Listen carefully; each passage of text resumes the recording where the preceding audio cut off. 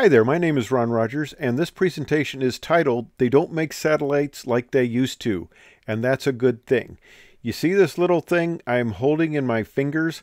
This is some of the electronic components that were on the Injun 5 satellite that was launched by the University of Iowa. We had Dr. James Van Allen, and I actually operated this satellite. It was launched in 1968, 8 August of 1968, and it ceased operation in June of 1971. And basically, it ceased operation because we ran out of money uh, to keep uh, to keep the thing operating.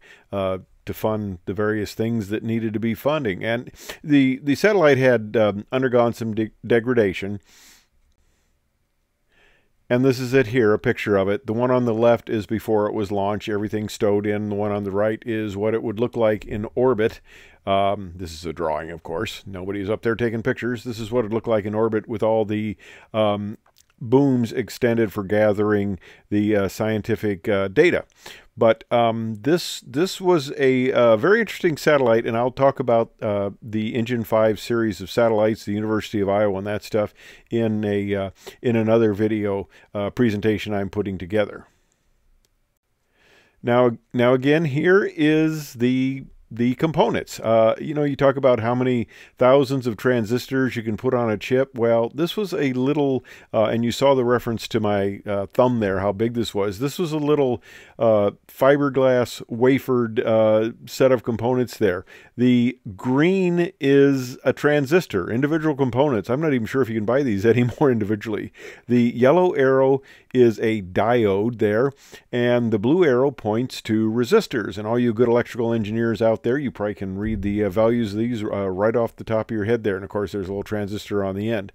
The um, two things on the left that say Injun 5, uh, they later determined, yeah, maybe that wasn't the most politically correct term, and they called them Hawkeye uh, satellites after that.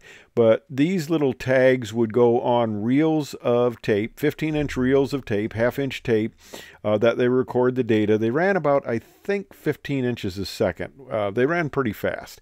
And they had a room on the fifth floor that was just full of these, and they had to do a structural analysis because it was getting pretty heavy up there. But anyway, they'd, li- they'd write the pass, the date, and all that stuff, and they'd put it on the, uh, the, uh, the tape there.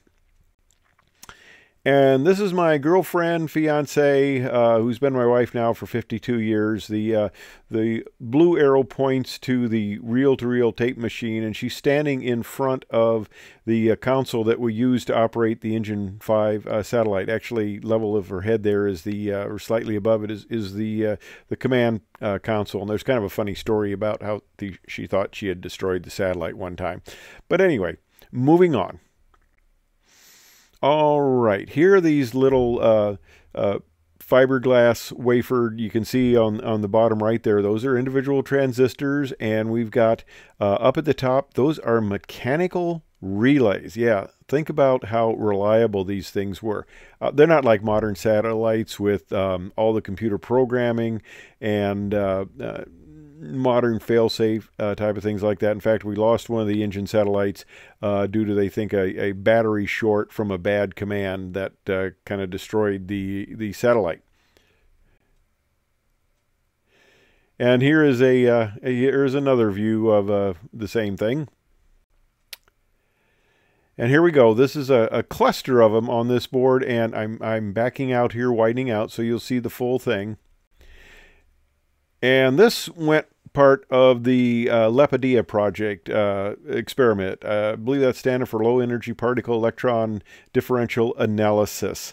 Uh, Van Allen uh, discovered, quite a coincidence, the Van Allen radiation belts, and, and I'll talk about those uh, later. But this was one of uh, many of a stack of these. These things were stacked. You can see the holes there that went through alignment pins.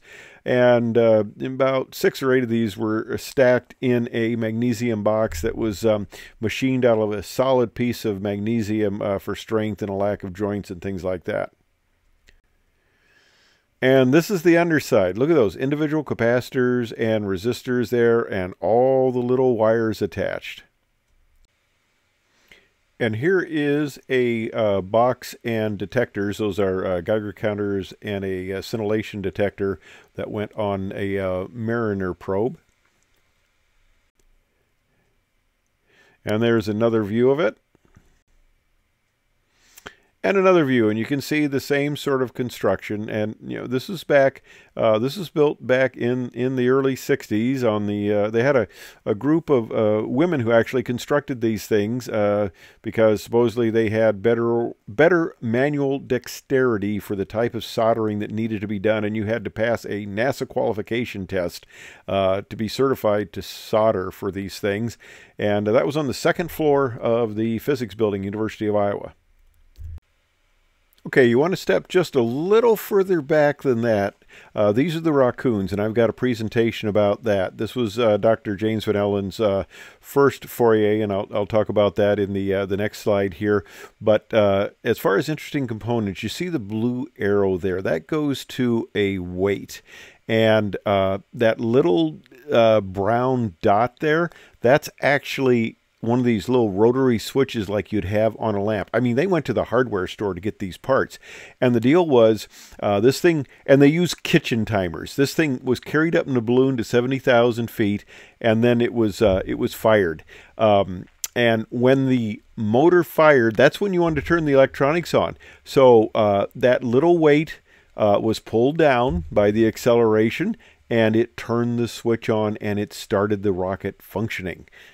In, interesting, huh? Yeah, sophisticated. The uh, green arrow points to a little uh, light sensor, uh, goes into the tube there. Yeah, photocell. Look at the size of that thing. It was a tube. And that that detected rotation rate, you know, light, dark, light, dark sort of thing. So you could see if the thing was spinning, because some of these kind of had a um, uh, method of determining orientation.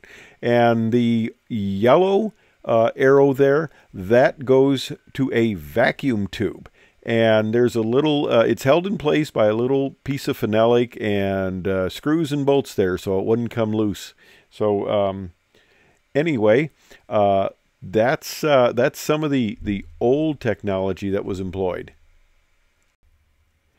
and there's Dr. James Van Allen holding one of the rockoons um, and I worked for him uh, in various capacities, and I came across in the storage room. Now, you see it on the left, a couple of these. They had about 30 of them that I guess they never ended up firing from the North Sea.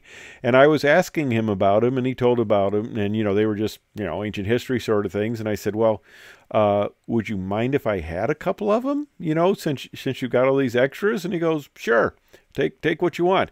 So there were kind of two different types, and I'll talk about those in, a, in another presentation. But now let's fast forward to more modern times. All right, look at that. Look at all those little chips, integrated circuit components there. And remember this? This is what it used to be. It's so old it's in black and white. I know. Individual res resistors, capacitors, and that. Now here's a more modern day configuration in the box. Uh, now this is a, a main uh, computational type of box here, and it's got some larger components for power supplies and stuff like that, but it's, uh, it's much more sophisticated. And again, here's another one with the integrated circuits and the surface uh, components there all mounted. And there's how it used to be in the olden days. So things have come along a really long ways. Uh, they've gotten much more sophisticated, much more reliable, much more damage tolerant. Uh, the failure rate in the olden days was very high, uh, not only of the rockets, but also of the components and the satellites themselves. So I hope you enjoyed this, and I'm going to go into more detail in uh, future presentations about the Rockoon project and the uh, the Injun uh, series of uh, satellites that were operated by the University of Iowa back in the um, 60s and 70s. So thanks for watching. I hope you enjoyed it.